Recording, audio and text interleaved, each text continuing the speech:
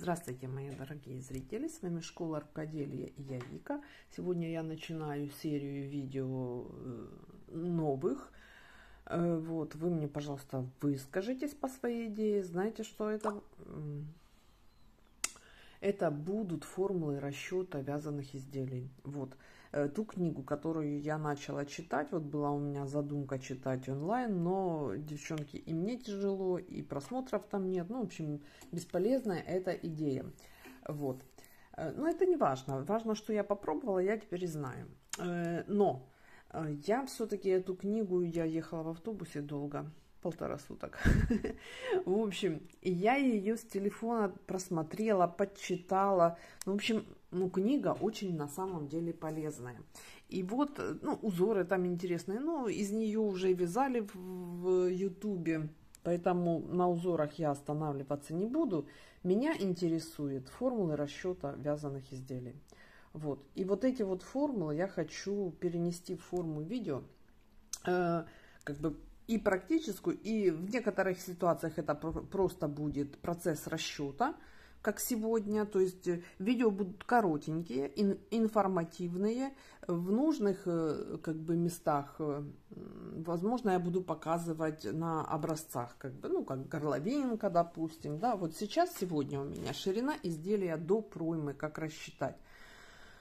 Вот, казалось бы, это все просто-просто, но на самом деле здесь есть тоже нюансы, потому что изделия бывают ровные, да, изделия бывают расширенные кверху, и изделия бывают трапеция расширенная к низу. Есть еще приталенные изделия, для этих у нас отдельный расчет – и еще один нюанс. Девчонки, все свои соображения вы, пожалуйста, пишите в комментариях, я все учту.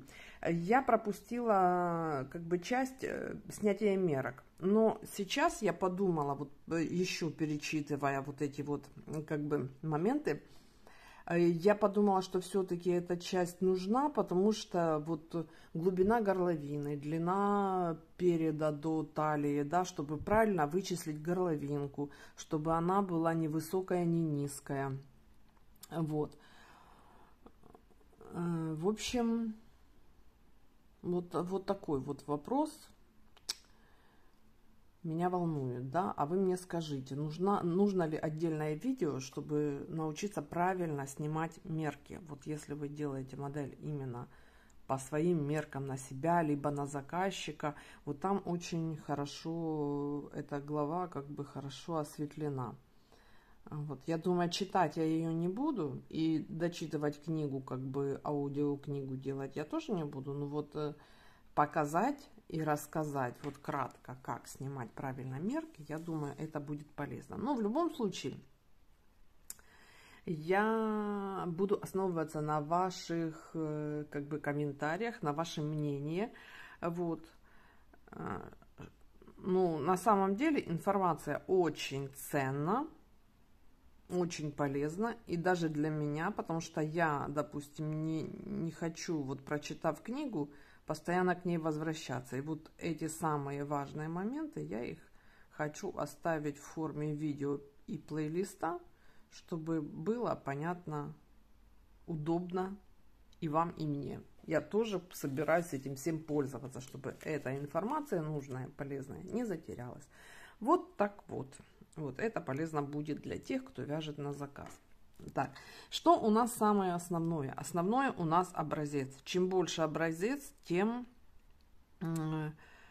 точнее вы можете рассчитать плотность вязания. Образец мы вяжем, образец мы обрабатываем, делаем ВТО для этой пряжи рекомендуемое. Вот у меня, я буду вязать из этих ниток все образцы, поэтому плотность у меня везде будет одинаковая. Вот сейчас я ее посчитаю при вас. Вот у меня образец 36 петель. Кстати, я не измерила высоту ряды. Значит, и в рядах у меня 12 сантиметров. Да. 12 сантиметров. 33 ряда. 33 ряда. Теперь, э, что они используют? Хотя, вы знаете, я думала на 10 сантиметров. Нет, неправильно. Э, чтобы было более точно, они используют расчет на 2,5 сантиметра во всей книге. Именно 2, ой, 2,5 сантиметра. Итак, считаем, да, по нашей формуле. Формулу, я думаю, написать, да, давайте мы сейчас сначала петли рассчитаем. Я пишу здесь, чтобы там потом все остальные расчеты. 16 это 36 петель, 16 сантиметров 36 петель. И нам нужно 2,5 сантиметра, это x петель. Мы умножаем вот эти два числа и делим на это. То есть 36 умножить на 2,5 и разделить на 16 это будет 5 и 6 петель. Видите, насколько точно? 5 и 6 петли в 2,5 сантиметра. Теперь мы рассчитываем высоту. У нас точно так же. Значит, 12 сантиметров. Это 33 ряда, 2,5 сантиметра. Это x рядов. Так, то же самое, умножаем вот эти два числа, делим на это. 33 умножить на 2, 2 с половиной и разделить на 12. 6 и 8 рядов у нас 6 и 9 я бы сказала. Потому что здесь округляем сюда. А вообще, если что, я напишу прям вот так вот. 6, 87. Давайте уже будем точными а там 62, по-моему, было. Вот, ну да ладно, в ширину оно вытягивается быстрее, чем в высоту.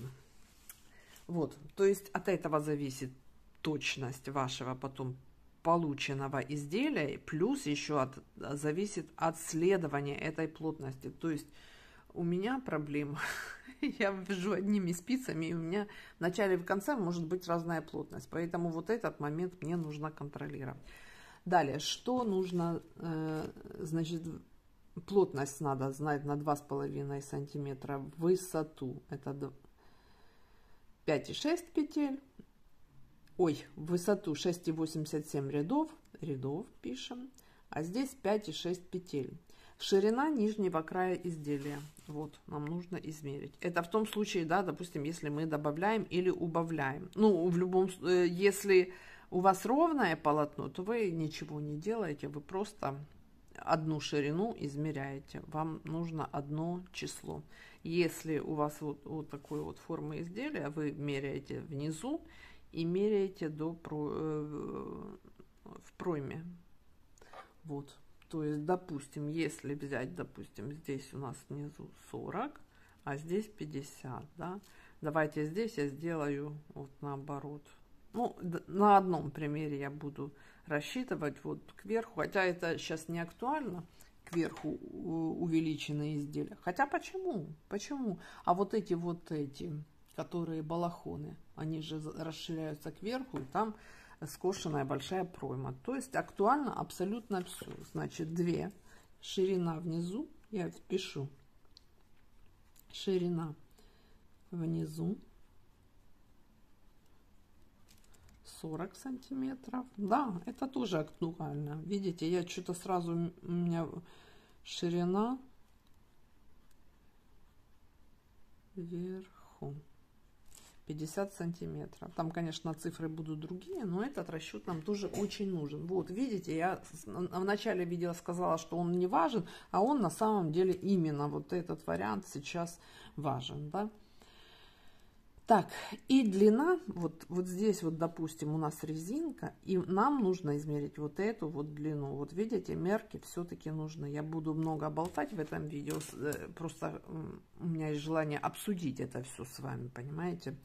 Вот, допустим, у нас здесь 30 сантиметров. Э, резинку не считаем. Длина изделия 30 сантиметров до проймы. Так, есть вот это те мерки, которые нам нужны. Вот, как мы считаем? Значит, мы считаем сначала э, внизу, сколько у нас должно быть петель внизу. Для этого, как мы считаем, я сама запуталась, вы знаете, в их расчетах. Значит, мы берем ширину внизу 40 сантиметров, умножаем на 5,6. Вот, кстати, девчонки, кому я, видите, я уже здесь начеркала. Я смотрю на то, что написано в книге, и там у них уже ошибка. Там написано вот 40 умножить на 5,6 равно 6, э, там такое-то количество петель. Но они забыли разделить на 2,5 сантиметра. Я считаю, считаю, не могу понять. Думаю, почему у них потерян этот момент. Вот. 40 вы умножаете на 5,6 на плотность. Сейчас мы определяем петли. И делите на 2,5 сантиметра.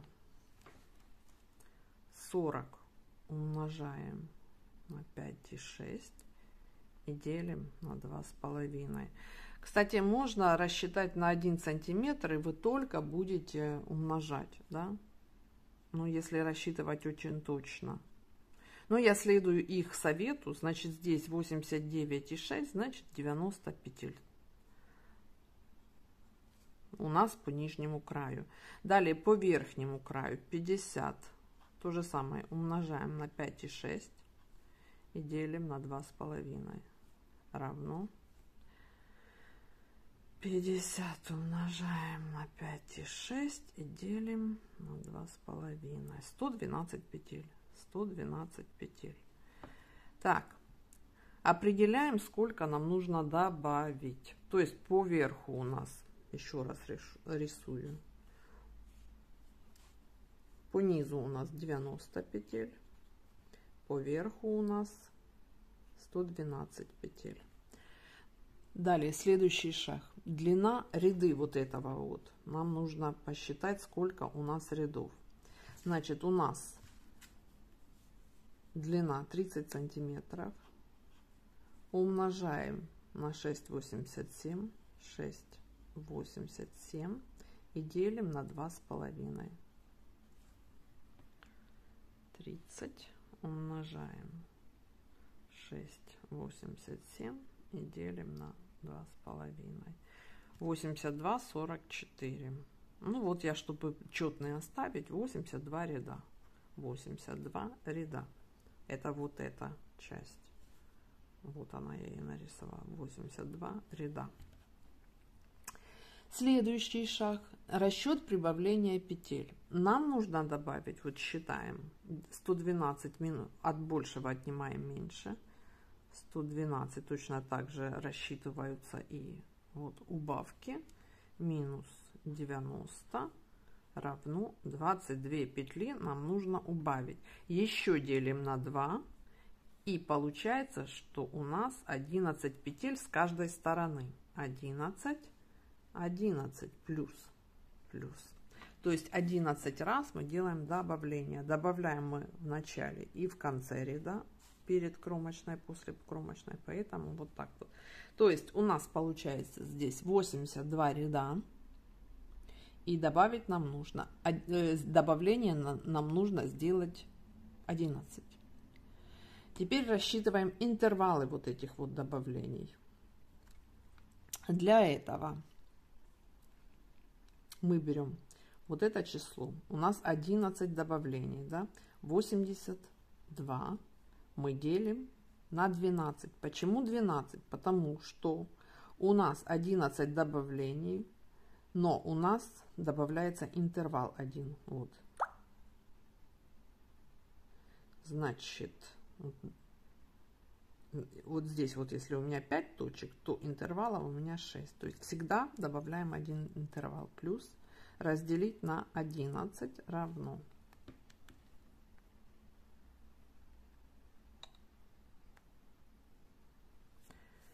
82 разделить на... Ой, 12, 12. Сказала, а написала 11. Вот видите, 6 и 8. Некрасивое число, да? Значит, давайте напишем 6 и 8. Красиво у нас будет. Вот сейчас, э, понятное дело, что это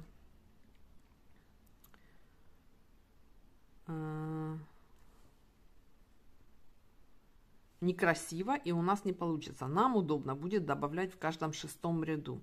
Для этого я еще пересчитываю вот таким вот образом. Значит, я беру теперь на 1 меньше, на 10, значит, нет.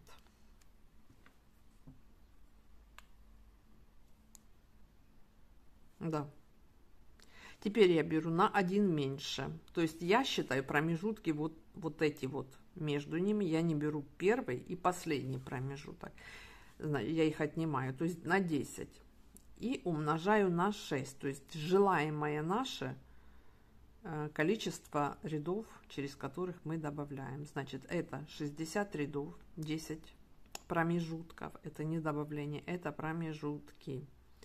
Значит, это будет у нас 10, чтобы вы понимали, промежутков умножить на 6 рядов равно 60 рядов.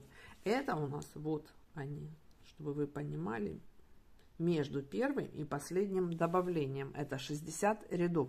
Теперь остальные ряды у нас остаются на первое и на последнее добавление. Это 82. Мы отнимаем минус 60, остается 22 и 22 делим на 2. То есть у нас одно и одно. 11. То есть здесь у нас 11 рядов, здесь у нас 11 рядов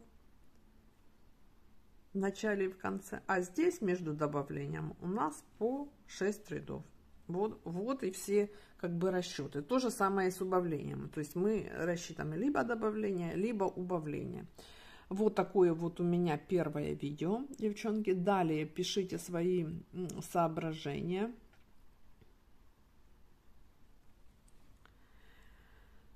Вот, я надеюсь, что вам понятно. Э, очень надеюсь. Ну, во всяком случае, я стараюсь. Какие, какие у вас э, соображения, корректировки, пожалуйста, пишем в комментариях. Э, Все, я думаю, я вам, я и сама добью эту книгу до конца, и мы оставим эти все полезные расчеты в запечатленном виде, да, чтобы это у нас осталось, и мы этим пользовались. Вот, на сегодня, девчонки, все. Я с вами прощаюсь. С вами была Вика из школы рукоделия. Всем пока-пока. Жду ваших комментариев. Пока.